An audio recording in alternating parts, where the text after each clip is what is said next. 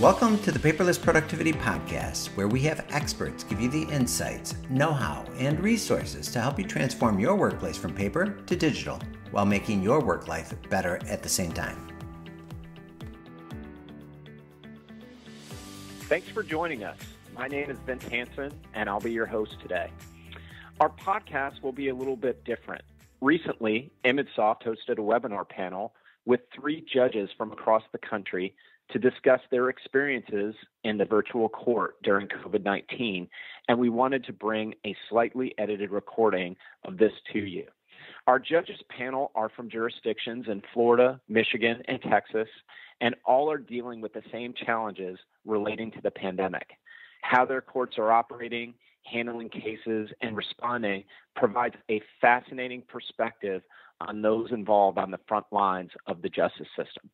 We're going to cover a wide variety of topics, so let's jump right in and introduce our partner, Ben Martin from Mentis Technology, the creators of the amazing eBench solution called AI SmartBench.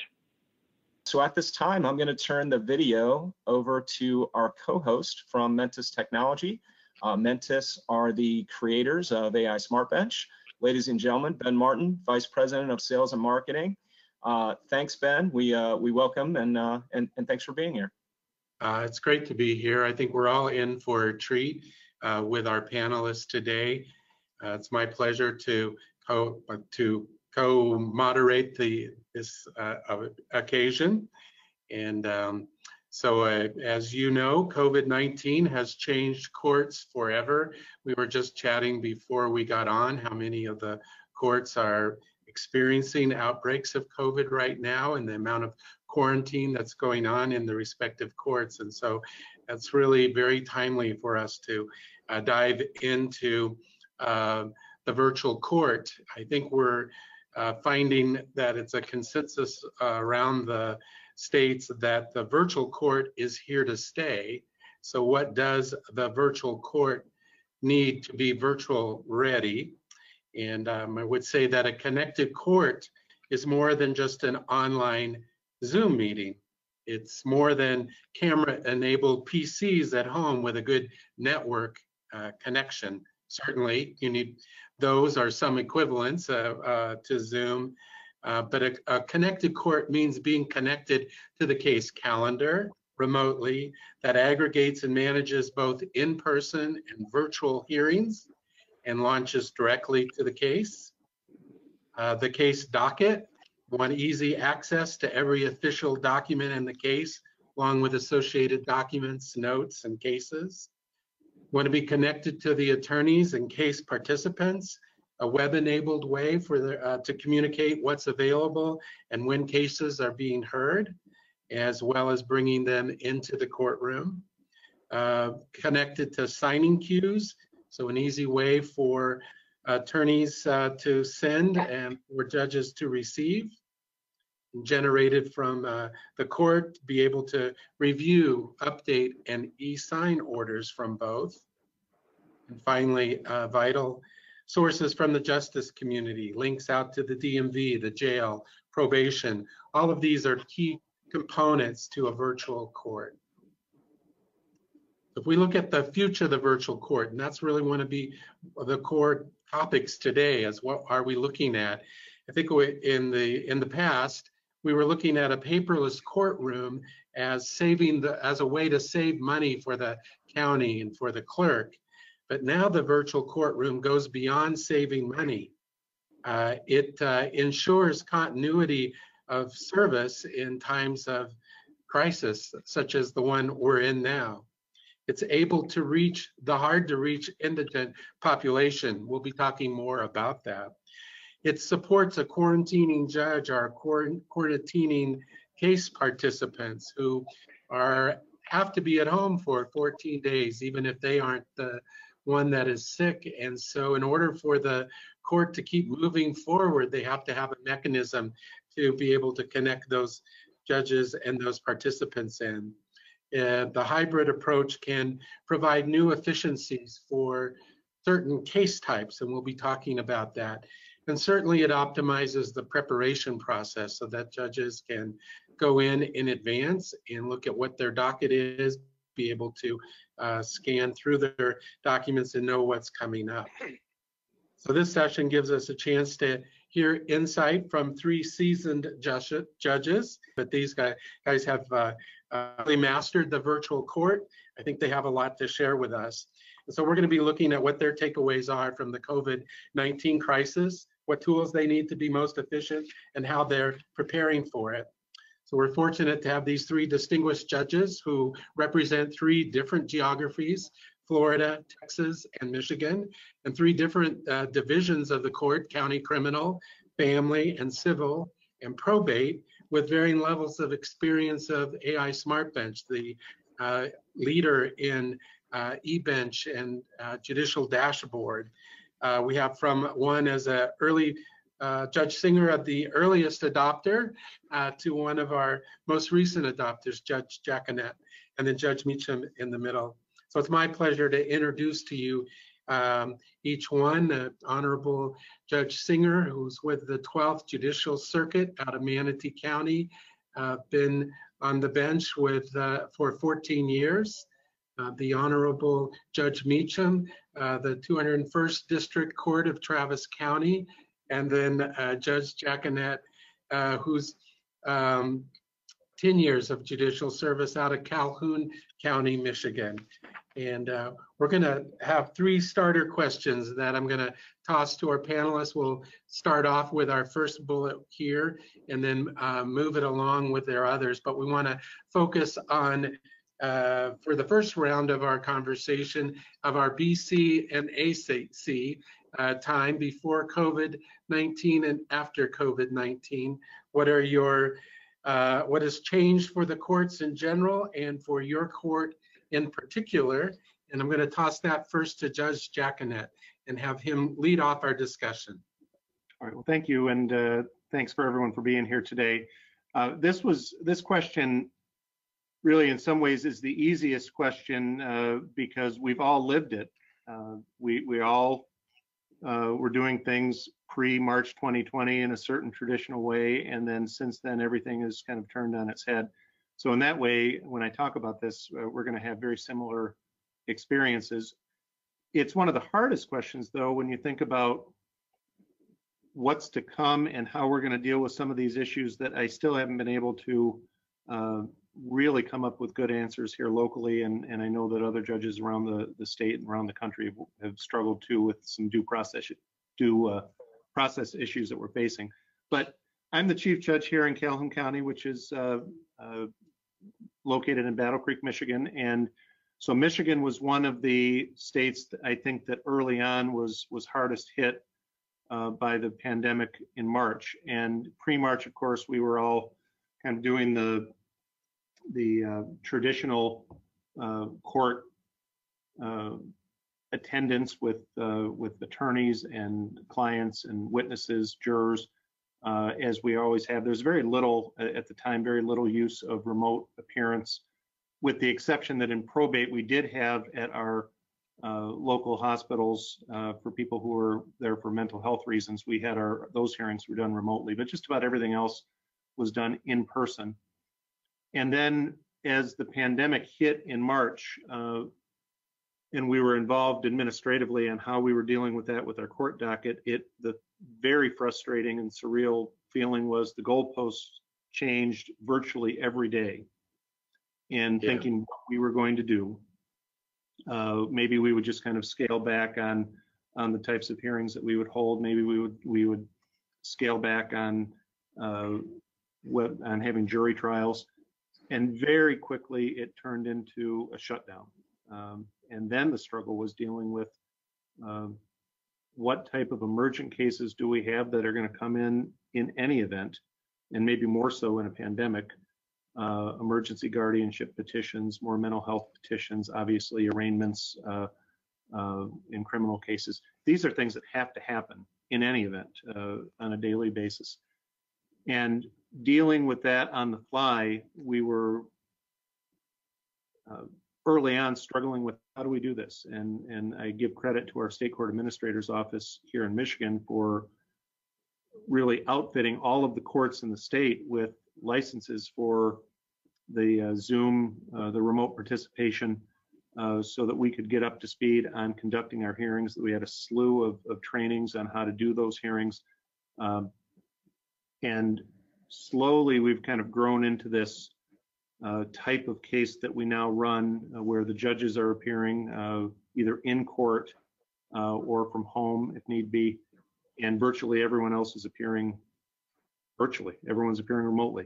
Um, and there have been discussions about what do we do with some of the the things that we know we need to do for due process uh, reasons sooner rather than later, but safely, and things like uh, the the hard questions that I don't have good answers for is how do we conduct a jury trial in the post-pandemic world? Um, how do we bring in uh, a panel of jurors on a capital case and and have sufficient spacing to conduct a jury selection? let alone a jury trial. And uh, we've had the idea of doing virtual uh, jury selections remotely. We've we've talked about doing it in auditoriums. One one of our judges mentioned doing a, a tent in our parking lot, uh, different rooms that could be used, and kind of stagger how we have the jurors come in with remote capabilities so the people in the other rooms can see what's going on. All these different things are, are things that have been talked about uh, and while we're up to speed with just about every type of hearing that that we are able to conduct, uh, mm-hmm. criminal docket, uh, preliminary examinations, and and jury trials really are lagging behind. Jury trials are non-existent, quite frankly. Um, that's the most significant change. If you uh, were to say how much uh, your workload or your caseload that you were um, dealing with before COVID, are you dealing with a 100%, 80% of what you were doing before? What would you say that? Well, the, I'm in the, the Probate Judges Association here uh, in our state, and we had our, our annual meeting remotely a couple of weeks ago, and the Chief Justice for our Supreme Court was there, and she mentioned that statewide, the probate bench uh, has been able to do about 65% of their hearings. Uh-huh the circuit bench is somewhere in the neighborhood of 50 to 55 percent. I might be wrong about that. And she said the district bench is at 30 percent. And when you think about it, that makes sense to me with the types of hearings, the the guardianships and conservatorships, mm-hmm. mental health hearings in the probate court, we've been able to do. Uh, the circuit bench, much of that is is uh, criminal trial based, but not all of it. So there's also the family division, which is able to be have their caseload um, in in large part that's been able to continue. But the district court is really impacted greatly because you have um, landlord tenant cases, which in our state were were just stopped entirely yeah. yesterday actually. And uh, and then you have the preliminary examinations and uh, civil and misdemeanor jury trials. All of those are in this giant uh, holding pattern right now, which we're, we're struggling with. Yeah. Judge Meachum, uh, what percentage would you say you guys are operating at now? I know it's been kind of a graduated process for you guys, right? Yes, I think just like Judge Jaconette was saying, it's been a moving process where at first we thought we were just shutting down for a couple weeks. Um, and we then have had to sort of reconcile with this is going to be an online court for a much longer period of time. Um, right. So while at first, you know, we weren't really doing much at all because we had not, just like he was saying, the technology was new. Um, we had done some Skype witnesses, but I had never heard of Zoom until March. Yeah. Um, like Michigan, uh, Texas yeah. did the same thing, and they got everybody licenses for Zoom and, and actually licenses for YouTube for stations on YouTube too to broadcast what you were doing to meet the open courts provision of the Texas right. Constitution um, but so at first we were still moving slowly. And I think at first we started at maybe getting 10%. We were just handling the emergencies. I'm the civil presiding judge here for all civil cases and all family cases. And we quickly learned that the family cases weren't going to stop. And in fact, they were going to keep coming at the same capacity level. And yeah. we were going to need to meet that. Um, and so we had to get up to speed quickly. I would say in March, you know, we were maybe 15%. In April, we did a little better, uh, 25, 30%. Um, by May, we were, I think, probably at 50%. And I think now, I think we're doing 80% of our dockets successfully. Like Judge Jaconette said, we we haven't really crossed the jury trial Rubicon yet. They've been shut down by Texas Supreme Court here uh, through September 1st. So no one can really do that until September 1st anyway. So that's the ongoing issue. Lots of discussions being had about that. But in terms of online court, all remote, all by Zoom, um, evidentiary hearings as well as motions and other types of hearings, I think we're probably at about 80%. And what's not there is a lot of that is just, I think, lawyer reluctance to engage as well. Some lawyers want to wait it out strategically. They don't want to be online. They'd rather wait until this ends. And they think for now, their case can wait. I think that's changed too with lawyers. Uh, Mm. Where their mind was in March isn't where their minds are in July as they see this go on. And, and you look like, um, right now, you're gonna continue to do virtual court till January at least, is that right? I mean, right now, Austin, Texas, we are one of the um, hot spots, I think. Right, Uh, the whole state of Texas and, and our urban counties here uh, do not look great. And so we're we're taking a lot of options. I mean, I don't know that we've made the full decision that we're not I see. doing it until January. I think Right. we are we're adjusting to the new normal. And we're Yeah. trying to be flexible and open and adapting um, and innovative and just trying to make it work because all that's really needed in this time of a pandemic. And we weren't really uh, prepared for it, but I think the technology part, we're catching up and we're being as agile as we can be to meet the demand of the public and the demand of lawyers. Uh, It's hard, it's not ideal, but we're making it work. Yeah. How about you, Judge Singer? What's the story there in Manatee? Well, let's talk about um, the positive takeaways and the negatives. Okay, yeah, Um, Manatee County is very much like uh, Judge Meachum's uh, experiences in Texas. Uh, As um, most of you, I'm sure know, Florida is uh, really high in the red zone right now. We Yeah. have uh, several judges who are out uh, in quarantine because of the uh, coronavirus. Uh, We have a courthouse in DeSoto County, which is our smallest of three counties, which closed yesterday for uh, sanitation because one of the clerks uh, tested positive. So we have a lot of issues to deal with, and just like Judge Meachum and Judge Jaconette indicated, it's a moving target. Things change sometimes even on a daily basis. But what are some of the real positives that we've seen? Well, in Manatee County courts, uh, we have uh, a very active small claims and uh, pro se practice, both in civil as well as family. And uh, we're seeing a much higher percentage of participation by litigants, both the plaintiffs and the defendants, yeah, uh, who are able to access the court system through Zoom, which they were not able to do before, because prior to the COVID uh, starting, uh, we didn't have uh, administrative uh, rules issued by the Florida Supreme Court that made it very easy to have uh, a Zoom type courtroom. Uh, all those rules were suspended. Uh, the party cannot object to Zoom right now, and hopefully that will remain after the COVID virus is gone, because we find that people enjoy, if you can say enjoyment in going to court is is something that people feel uh, that they bring to the table, but uh, people are participating uh, on all sides. A lot of times we were seeing defaults, defendants in civil cases simply would not come. Uh, that's changing. And uh, it's not often when I run a regular courtroom that I would have everyone show up. I'm finding 95% participation in our civil cases uh, with the litigants all appearing by Zoom. Of course, uh, we have some interesting problems with that, what the background looks like, dogs Mhm. barking and the other things, but uh, a little bit of instruction and we're able to, to move forward.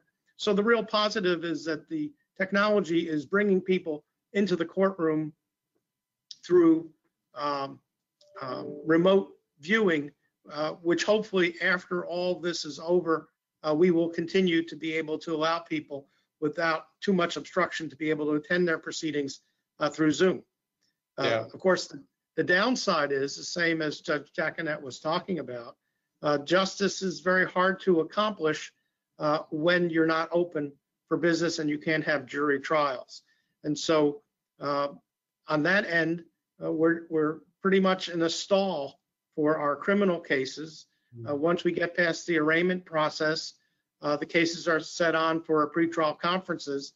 And right now, uh, we uh, went from simply just in bulk continuing cases in May and April uh, to future court dates to actually running our pretrial conferences through Zoom and having all the attorneys attend by Zoom. And that's quite a bit. Uh, a typical uh, hearing for a pretrial conference in county court right now, we're running about 300 cases that have to be done in about three hours, and it takes a, a little bit of learning.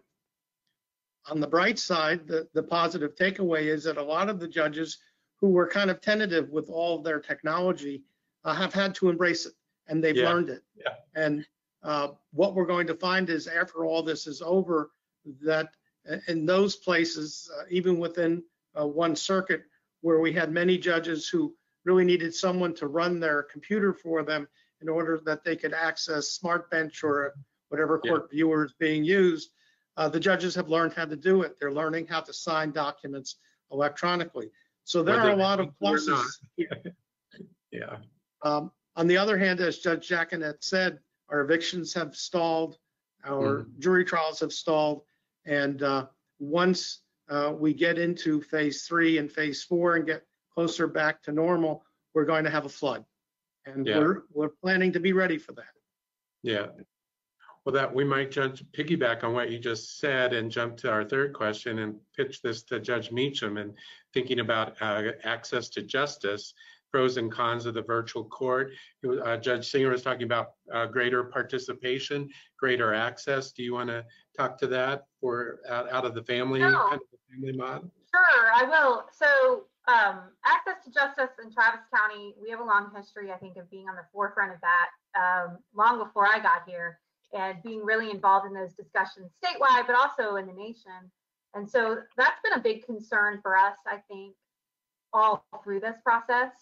We knew that lawyers would have access to the technology. We knew that we could get access to the technology. Like everybody's been saying, there's resistance to the technology but that's just because technology isn't i don't love having to learn about two or three new apps a day like that is Right. not how i like spending my time but we've been having to do that and and once you kind of start doing it and you're agile with it it, it gets easier and easier um, but we were worried about pro se litigants um, Yeah. self-represented litigants still are by the way um, but what we learned in family court cases especially shorter cases was that just so many people in the community do have a cell phone and Yeah. have a smartphone.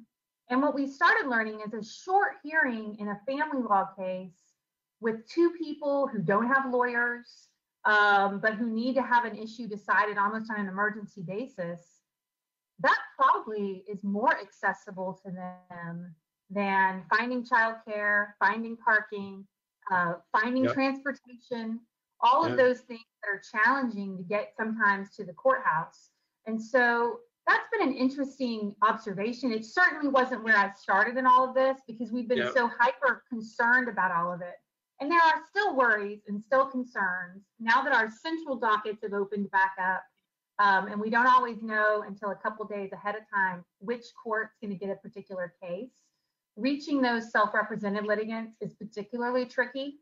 Uh. It involves a lot of communication by court staff on the front end and making sure they have access. We have set up Zoom rooms, we're calling them, for lack of a better word, in the courthouse that can, if people can only get to, if they don't have access another way, they can get to the courthouse and they will have access to a computer, to a camera, to where they can participate in I their see, hearing yeah. um, the big thing is with jury trials, and I will, I just add to that a little bit, is we are going to pilot. We have no preconceived notions. We aren't we're trying to find willing participants here in Travis County, willing lawyers, to do a pilot uh, jury trial by Zoom in August. We Mhm. have approval from the Office of Court Administration to do that. And one of the big challenges with that from an access to justice perspective is making sure that the venire panel, um, that you're not leaving people out who don't have access to a computer or access to Wi-Fi. Um, and what we're doing in the pilot is the Office of Court Administration is actually, they have some tablets that they're going to make sure that the venire panel that's called, if somebody says they don't have access, they're going to get those. I, we'll we'll see, right? I'm, I'm Right. skeptical, but also open. I think that's how we're all having to be in this time, having to be willing to Right. learn, but also be concerned about the Constitution, the Seventh Amendment, due process, access to justice, but also be open that we have a 21st century problem and maybe we can solve some of it with 21st century solutions. Yeah. Um, it seems like you were, were mentioning in another prior conversation that uh, the the Zoom view into the home oftentimes gives you some uh, surprising inputs into the dynamics that you're addressing that doesn't come up in the courtroom. Everybody's kind of got their best face on in their best suit, and uh, you might um, have a different view when you're uh, zooming with somebody on their phone. That, uh, Definitely true. You can Yeah. get, you can get the background noise of childcare or people yelling or Yeah. um, lots of things. You can see that my, I'm from home because we're mostly home now. You can see my office is a lot uh, messier than the judges who I think Yeah. are in their chambers. yeah, Um, so that, that just in alone tells you something when you get that insight into people's homes. Well, Yeah. that, that's not entirely true because I'm, I'm blocking uh, a big section that, that really is messy, so. We're messy at the office too. awesome. Um, Well, and then one thing I would would mention is that while we do sometimes have a problem with a person being too casual on Zoom, as opposed to when they walk into the courtroom and they're kind of um, uh, put back uh, because they're in an unfamiliar place, and so Yeah. they tend to be more polite and to behave Right. themselves in an appropriate manner. You lose that on Zoom, but it just takes a little bit of time and and thought process for the judge in a very patient way to remind the people who are on Zoom that we're not in your car with you having a discussion. We're actually in a courtroom. We need Yeah. you to be patient. We need you to be quiet. Wait for the questions to be asked. On the other hand, we also have a fantastic ability with Zoom and other products to have breakout rooms so that when I've got a civil case, which is say a credit card debt collection case, and the parties haven't had a chance to talk, well, I'll move them into a private room where the two of them can have an unmonitored conversation. And then when Right. they're ready, they can uh, raise their hand and I can either join in the break room or they can come back out into the main Zoom room, which Yeah. actually is a lot more efficient than asking them all to just simply step out of the courtroom uh, or have me step out of the courtroom while they're using the courtroom to negotiate their case. Interesting. Yeah. Well, maybe we can shift just uh, uh, a little bit into, um, we've, we've talked a lot about the, the Zoom tool and what it's enabling in terms of connecting you and having these side rooms. Maybe we talk a little bit about other tools and processes that have brought you the most value uh, in conducting the virtual court. And maybe Judge Singer, you could lead us off there. Well, the first thing is we've been using Smart Bench for quite some time.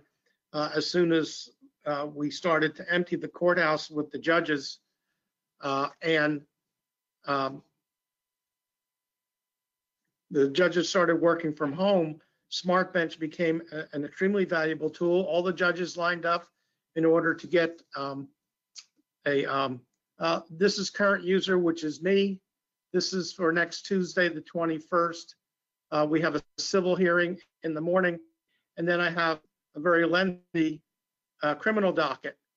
And you can review this at home. And for those judges that do primarily civil work, uh, this whole agenda view would be made up of civil cases that you can sit at home uh, the night before or the morning before the hearing start.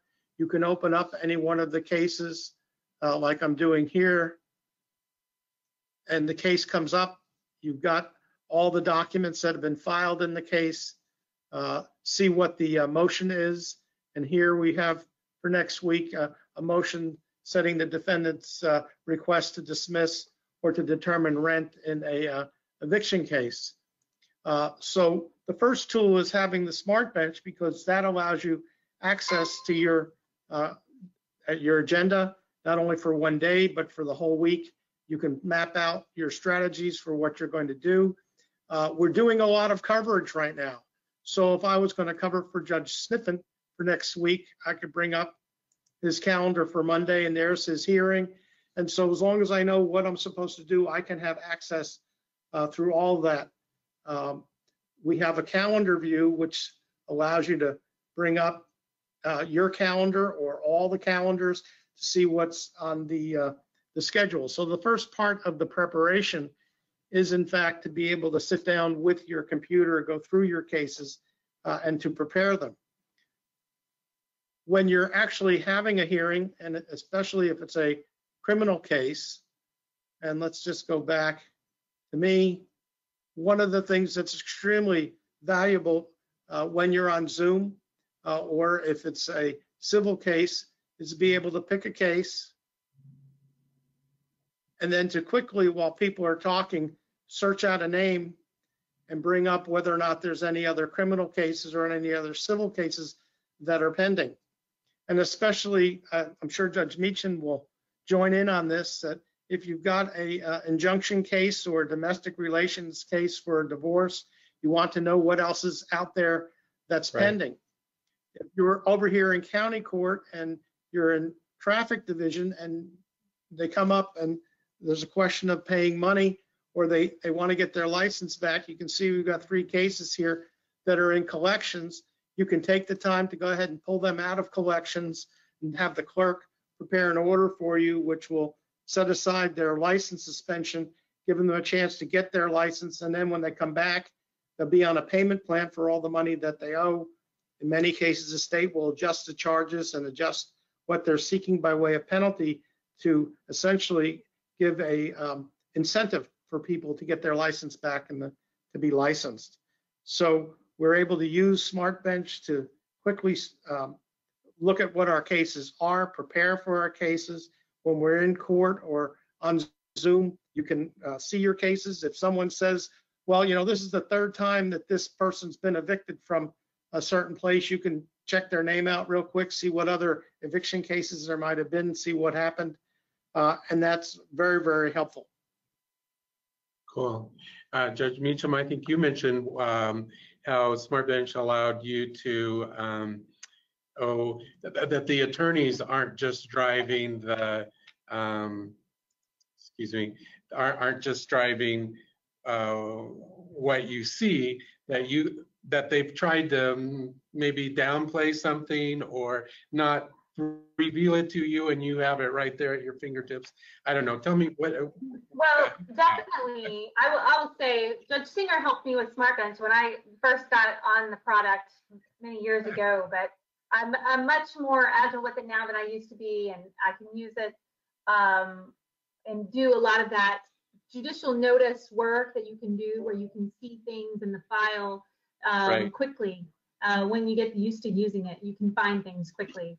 All of us, you know, it's interesting. I've gone from almost never working at home to never leaving the house. but one of the reasons that has worked is um, is I do have access to my docket so quickly, and I can do everything really that I did um, about the case and seeing the case and seeing it on the screen at home the same way I did at work. I don't know that that's where I'm going to be when this is over. I think I want to see people again. I like going to work and having that work-life separation, but it Right. has been interesting to be able to do that so quickly and to be able to sign orders from home. All of my staff has access to it too. It has raised security issues. You know, we're getting a lot of phishing attempts at the county level, which is Yeah. interesting. Um, we're having to be hyper vigilant about that because everybody's almost logging in from home, which Yeah. is a really different situation than we were at four months ago. And so we have a lot of hyper vigilance on those issues. Um, but as for the dockets themselves and being able to see what we need to see or access what we need to access, um, that has worked really good and Yeah. has allowed us to continue to uh, run our courts effectively.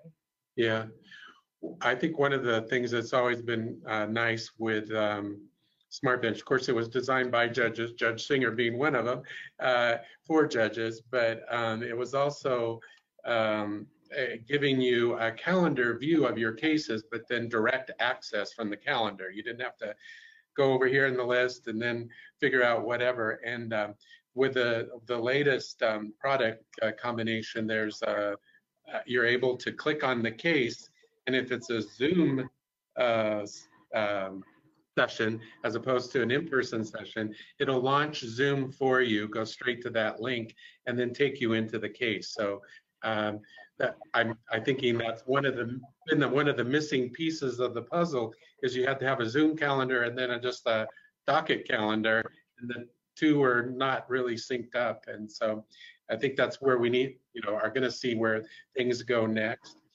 Well, and I Um, think that that's one of the things about the Yeah. about the pandemic is it it has forced you, forced all of us to to think about using these tools in a way that you hadn't thought of before. yeah, right. Before March. So uh, maybe, and I'm not sure when when it was thought to uh, attach the Zoom feature to the to the Smart Bench, right. Uh, but it it is something that I think sounds much more valuable now than I would have thought in February. Yeah, exactly. The world Yeah. we're living. Fortunately, hasn't been their dead body, but it has been COVID-19.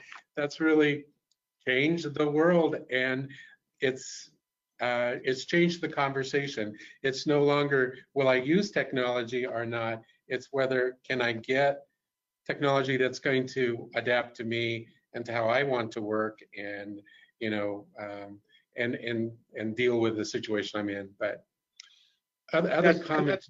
That's, Yeah. that's right, Ben. And in fact, the, the conversation from the, the, the judges who were tentative with technology was, well, I'm not sure that I like this when they're first confronted with using it or they're going to use it to the minimum to now they're saying, well, I'm working at home. How do I get documents sent to me so that I can view them and sign them and return them? So now they're becoming, uh, on the other hand, much more interested in what else can they do because uh, it's very important that, that judges at home, as Amy will tell us, uh, be able not only to be able to view things and uh, to uh, handle the hearings, but then be able to generate orders and uh, get that over to the clerk without getting in the car and driving a piece of paper down to the courthouse. Yeah, great point. Any other? Yeah, I'll also say, I'll just add, in Travis County, we have unique situation. Even early on, we had cases in the courthouse. And so we kind of out of necessity did this um, stay home as much as you can uh, quickly. Uh, we've still continue to have cases there, even though there haven't been a lot of people there. I mean, it's basically a skeleton staff. Um, and still we've had cases. And so we have a hundred year old building. Um, it is not built sufficiently for a county of a million people. We are actually in the process of building us a new courthouse, but it's still a couple years away. So we have had additional challenges on top of, I think, the usual challenges. Yeah, we're trying to fit a million, a county of a million people in a building that was built for a county of 70,000. And so that is really unique and really tough in a pandemic. And we've, we've just basically out of necessity had to move to at, home quickly. Um, the good news is, and Ben knows this, we actually have an in-house IT department. And um, that has been Yeah. just so fortunate for us because they have met all our demands and all of our needs um, and quickly met them. But we had to do that quickly out of necessity more than just we all want to stay home now because I think many of us want to be at work. Um, it's hard to do with three kids that are school age in the home Yeah. um, and a husband whose office I have taken over. He used to work out of the house. He's ready for all of us to leave. Um, so, I bet. mm. Awesome.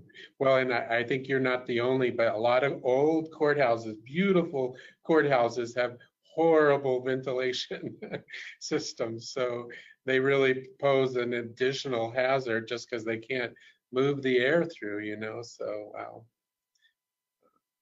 Other observations about the either tools that have helped you or uh, maybe things that you hope are on the horizon that um, that's that's not quite materialized. I don't know. Are there any things there? Well, Uh, One thing that I'm not sure, uh, I know we have, I looked at the list of the, the people that signed up for the, for the uh, Yeah. webinar today. And they're from all over the place and all different types of uh, occupations. And so I don't know whether those folks are people that, that utilize this technology or not. I'm, I'm a newbie. uh, As you pointed out on the beginning slide there, we've had, we've had Smart Bench for one year. We've had other uh, platforms that we've used but the when we first moved to this uh, fileless system uh, that Right. we're on now, uh, I don't call it paperless because we, we still do Right. have some paper here and there, Yeah. but but it's fileless. Right. Uh, one of the huge advantages, huge advantage, whether you're in a pandemic or not, is the fact that I don't have to have people running around looking for files yeah. or looking for the motion that just it's it's in because it's scanned in. Once it's scanned in, it's it's there for for me. Right. Uh, and and it's one of those things where both my my probate court register and I can be looking at the same file, the same document within the file at the same time, Yeah. and I can have her on the phone or on Teams or whatever talking about an issue. Um, because it's available to us now. And, and back in the day, you'd, you'd put a, a physical sticky note on a Yeah. document in the file and then send it off. And at some point she'd get it and look at it and then we'd talk about it. Uh, Yeah. And that, that time is really valuable right now. Uh, because one thing that it's, I very much agree with what uh, Judge uh, Singer and Judge Meachum have been saying about the advantages of of the Zoom and, and the increased participation that we're seeing. Overall, it's been, uh, I, I think the pros greatly outweigh the cons, but one con uh, where time really becomes super valuable to us all is there are glitches with the technology with the remote appearance in court. And so cases tend on average, I think, to take just a little bit longer, sometimes quite a bit see. longer, if you have the communication issues. Um, so the time being really valuable to all of us, having having those tools available that that compress that Right. that time that you're waiting for things or, or searching for things is huge. Yeah. And adding to that, I don't think this will ever, because of the evidence piece, the most difficult piece from my end is evidence sharing hearing. Right. And that is very hard. We're using a um, technology called Box. It's similar to Dropbox. Uh, it requires a ton of preparation by the lawyers, a ton by our court reporters. We still, uh, every jurisdiction is different on whether you still have court reporters or not. We definitely still have court reporters, and they are working incredibly hard right now on the front end of hearings to make sure they have everything they need for a lawyer to offer an exhibit, for them to be able to have those exhibits at the ready, for me to have those exhibits at the ready, and everybody to be able to do that um, because not everybody can share their screen. That that's not something you can do on a cell phone anyway. And Right. so we really had to come up with a reason. Uh, I think this is something that will continue for oral argument type situations. I have one lawyer from Houston, one lawyer from Dallas. They have a summary judgment motion hearing, um, and they don't want to travel to Austin to do it. I think Zoom has become a real viable option for that, even after this. The the evidentiary hearings, I'm not there yet because those do require Yeah. um, a lot of work on the front end, and it's not as sufficient. It's just not as good as live and in person and Yeah. being able to do it that way. Yes, and I would agree with what Judge Meachum is saying. Um, In our uh, county court world in civil, uh, when we would just typically schedule a matter for a final hearing without any kind of case management conference because it's pro se litigants, you just want to bring them in and uh, have them tell you what their account is and determine what the result is. Now, uh, we're requiring a case management conference in every one of them to make sure that the participants uh, can participate evidentiary wise in Mm. a Zoom hearing and then to have a discussion about how much evidence is there. It needs to be filed in advance. Everyone needs to have a copy of it in order to have an effective hearing. That's where there's a lot of extra work involved, certainly, just as Judge Jackson just said. Interesting. Um, one, one, um, back to the, the file is a part that you were talking about, Judge Jaconette. I know judges love the fact that if an attorney says, I have another case, related case for this person, can we take care of it at the same time? In the old world, that was a 20 minute, go down in the basement, find the file, fish it, you know, stop, stop the presses and then bring them back in. And uh, with Smart Bench, you just key it in, uh, boom, the, the case is there, you click on it, and you have it in front of you and you can take care of it at the same time. So uh, that's where I think technology shines and it's been a, a boon to courts for that um, quick access to short, shorten the time frame of everything that got um, you know was kind of uh, already burdened in the paper process of getting those files in. In a lot of ways, uh, it's, it's even quicker than having to key it in because you just, in many of these are just hyperlinks that you just click on. That's right, exactly. You're absolutely right. Yeah. But it, it- for me, I, I don't have quite the, the staff that, uh, uh, it sounds like Judge Meachum has more staff than I do. I'm gonna, little judge envy there, little Yeah. judge envy. well, but the thing, the thing that I'm doing is I'm doing a lot of this, uh, on the bench, uh, by myself. Um, Yeah, And so to have all these tools handy where I'm, I'm essentially running the show with the, the Zoom and putting it up like, uh, uh, was said, we, we have to do the, the YouTube live streams of our hearings, uh, in most all cases. And, uh, so I'm doing all that and, and being able to, at the ready, pull up files of two, two different screens in the courtroom. Uh, but to be able to pull up files quickly in the midst of all that is is really it's a change for me because I was one of the people with the uh, you know the tablet and the chisel and and uh, right, the over my dead body person, were you? uh, Not it so just- much. it- I didn't see the need to change from what I had been doing for so long, but uh, it's Yeah. uh, when when you don't have many workable alternatives, uh, that's a great motivator to to Yeah, that's true. Thanks, thanks again for that. Um, we did get a couple of questions that came in during the uh, during the webinar. The the first question that came in uh, really focused on SmartBench actually, and they um, I think some members of the audience were curious what features or functionality do the panel judges utilize the most with SmartBench on a daily basis. Uh, so maybe zeroing in on something that may, maybe is something that you you have to have in order to be productive and efficient now. can, can I answer that as the the newest person that That'd be that- great. So I, I'm the one here out of all the panelists that, that least knows how to, how to use SmartBench well. So I'm, I'm, I'm learning. But uh, the thing that, that I do without fail is I'll open it up and I'll go to the calendar. And the calendar, I use it more to, to forecast what I've got coming up in coming days because I like to prep ahead of time. And um, that will allow me to see what I have and easily click on the cases that appear on, on let's say Wednesday, Wednesday's docket.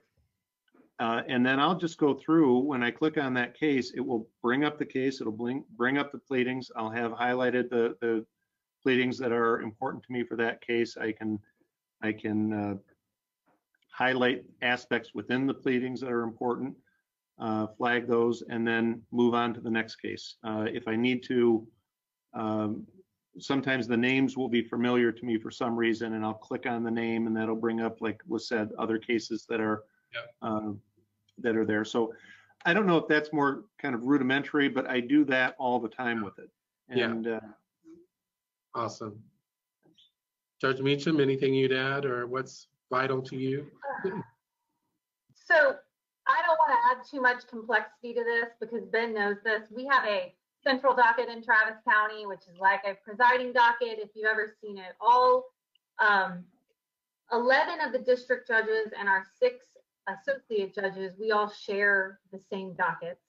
And I, I get a lot of feedback about that from judges across the state, but it works for us and we like it. Um, and what what y'all worked with us many years ago is making sure that we had good communication with each other on those cases. So we use something called docket entries and judges notes that um, y'all helped us set up. It works a little differently on our product, I think, than other mm-hmm. people's, and we've had to do some right. adaptation on our end, but it's worked great. And we can see what the judges who saw this case before their observations were about the case and everything that they put into the case. Uh, we can see that quickly. And yeah. um, most, some of it's private, some of it is public. Uh, it depends on the case and what the judge is trying to say. But that's the, probably the function we use the most. Our smart bench is set up, and I'm assuming this is true for everybody, but we pull from both our case management system and our document management system. Um, and we can mm-hmm. also find easy access to the attorney's phone numbers, which helps staff a lot, especially now. Attorneys' phone numbers and attorneys' emails, because having to do all that communication um, has been key in this because we're not waiting for them to come to us. We're having to communicate with them. Um, almost being the first point of contact is our contact now. Yeah. So that quick access to their information, I think, is really key um, on our side of things. Awesome. Judge Singer, anything you'd add in terms of? Well, the, the number one item by far is case comments. Mm-hmm. Um, in a high volume court like I run, um, putting case comments in whenever you're doing something on a case uh, is vital because I can't remember one case from the next unless there's something unique about it. Right. And so I'm always going back, and when I pull up a case because I've got a letter or there's a motion for reconsideration or something, I pull up the case comments and it's right there, whatever I did. Uh, we also have a secondary docket that you handwrite notes for your assistant to let your assistant know what happened in the case. But by filling in case comments and giving your assistant uh, permission to be able to view your case comments, then it's right there in the in the file, just the way it was in the old days, where you put either a piece of paper or a sticky note on the court right. file. So case yeah. comments are, are, number one, and then uh, really number two was just what Judge Jaconette said, having the agenda view, the calendar, being able yeah. to look at cases and to study up in advance. Uh, I've not, I've been on the bench almost 15 years. I've never used paper. So right. if I didn't have Smart Bench, if I didn't have the computer, uh, someone have to tell me what's going on because I, I wouldn't know. Yeah. So the, the next question was, um, what should be on the roadmap from a judicial tools to better support the virtual courtroom? And and maybe I heard a little bit about evidence, um, maybe yeah. some challenges uh, around there, just with the process of prep and folks not knowing how to use those tools. Uh, I I don't know. Maybe I'm not trying to answer the question for you, but I thought I heard it during the session. Yeah it's a good lead. Yeah, and I don't know. I don't know that that is a fixable problem either. I'm assuming it is because uh, what I'm learning is technology usually has fixes. But right now, it's just the lack of everybody being in the same room together. Um, the spontaneity sometimes you'll, you're never going to fix that problem with technology. I don't think because some things that happen spontaneously happen, um, and that's been harder in this process. But I think if, if people could figure that out with technology, how to make it possible for somebody in the moment, a good lawyer, to be able to have an idea and have a piece of evidence um, that they weren't rebuttal evidence, basically, um, that they were going to use in the moment that makes sense in the moment, that they haven't gotten this in the front end. I mean, yes, they right. can share their screen, but how do they actually get it to us for us to admit it right. as part of the official record? That is, right. that's a trick that I don't know, and I'm maybe it's coming. Right now, it's very hard to do. We can do it, and I haven't used it as a reason to not have hearings. What I've told lawyers are, listen, I'm open, we're learning, and so I'm never going to say to somebody, oh, you can't do it because the technology isn't there yet. Um, it just takes a while to get it done. Right. Um, several emails, lots of people copied, um, admitting something after the fact, all of that. Um, yeah. If that can happen more in the moment and spontaneous, that would definitely be helpful. How about you, Judge Singer? What would you like to see on the Judge Judicial Tools Roadmap, the next thing that would make your life beautiful? Well, certainly if I was with our designers of Zoom, that's where I would be looking is to see how one could easily take a camera shot of whatever it is they want the judge to see, and it Yeah. could be easily displayed. I would be surprised if we don't see something like that in the Mm. very near future. Uh. I think though that in the, at the end of the day, when you're talking about evidence, when you have advocacy, when you need a jury, doing things in person is still going to be the way that it's going to go. Yeah. Uh, I think it- uh, I would find it very difficult to try to weigh credibility by looking at somebody on Zoom. Uh, The uh, other aspect of it is that I do think that attorneys have been very slow to bring their own technology into the courtroom in presenting their cases to a jury. It's been Mhm. surprising to me over time how little our attorneys have used Google Maps, for example, in Yeah. presentations of uh, simple criminal cases. Uh, There's a lot of technology that's out there that the attorneys have been reluctant to use. It may very well be that we're, most of our attorneys that are the lit- litigating attorneys either are older or they're spending so much time because they've been in law school learning the law, they haven't really been focused on the technology aspect of things. Right. This may very well change, and once we get back to the new normal, as everyone likes to call it, I think Yeah. we'll see the attorneys much more adept at coming into the courtroom with their computers, with their technology tools to make president, present, presentations a, a lot more lively and interesting for the jurors uh, and for the judges, and in a way that will promote their advocacy and help their cause. Uh, Interesting. Anything you judge, add, Judge Jaconette? Uh, Well, one, one thing that I, I just think needs to occur for, for whatever sort of virtual hearing that you're going to have to, for it to be effective, the connections, the connectivity between Yeah. the, uh, the, those remote participation Yeah. platforms, Zoom or whatever it is, it has to be better, uh, more consistent. Uh, Can't lock up. this to be something that really assists us long-term. It's been a godsend short-term, Yeah, uh, but I agree with the other judges that um, it- the the courtroom choreography of a jury trial, I, I don't think you can replicate virtually. Uh, Yeah. Not a lot of it anyways. Thanks, uh, thanks for uh, the participation of all the judges today, your time and uh, your knowledge and just comments on the section. Uh, We really appreciate it. It's been an enlightening session with our panelists to better understand a day in the life of the post pandemic court and seeing how court jurisdictions across the country are responding to the many challenges we are now faced with. If you'd like to learn more about ImageSoft or our solutions for the justice community, please go ahead and visit our website at imagesoftinc.com. This concludes today's podcast. Thank you for attending and have a great rest of your day. Thanks again for joining us on this podcast. To learn more about ImageSoft, please visit imagesoftinc.com. That's imagesoftinc.com. If you haven't already done so, be sure to subscribe to Paperless Productivity, where we tackle some of the biggest paper based pain points facing organizations today. We'll see you next time.